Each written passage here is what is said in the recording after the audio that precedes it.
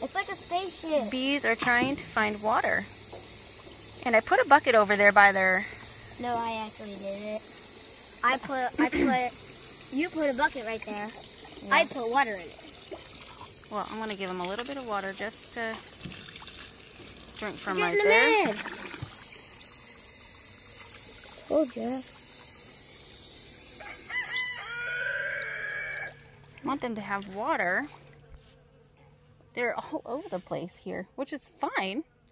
I get they have water over there though. So I'm not sure why. That's because that one's, that one's all dirty. Well, they like dirty water, from what I understand. That's what you heard from YouTubers. Sometimes YouTubers aren't right. Yes, that's okay. Hey, don't put that in there Why? because I'm gonna. Never mind. Turn it back on? Nope, I'm not turning it back on. Hey, I got a good idea. Hey, just let it be. No, I was gonna get one of these. So I filled it up. I put these sticks in there for the bees so that they can get out. And I also put some water on the ground. There's a bee. Hold on. Focus. You can't see her. She's behind something. Where's my finger?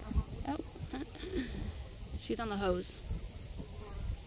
So I put some water on the ground so that these bees can find water without having to drown. Trying to save you and help you, bees. I'm trying to help you. See, there's another one.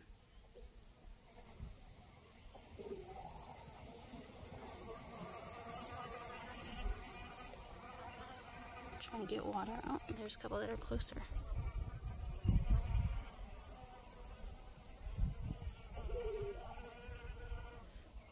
So, I'm giving these bees water because they won't go to the water container that I made for them that's closer to their hive. What the heck? It's the same water. I fill it up. I fill it up, put sticks in it just like this. But they don't want it. They want the cow's water.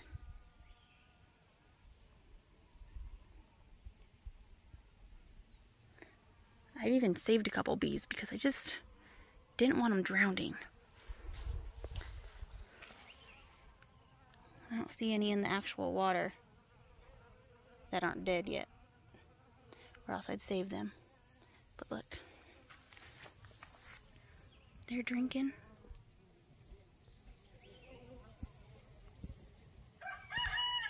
Come on.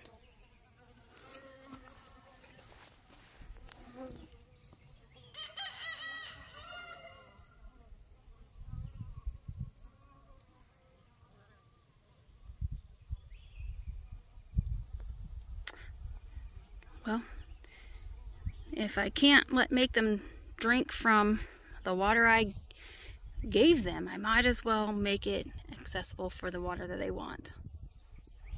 Right? Save the bees.